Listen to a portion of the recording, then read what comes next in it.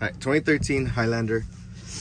To get into neutral, there's usually a little clip here. You gotta just pop off, but it was missing. So all you're gonna do is just push that in there and you'll be able to put it into neutral.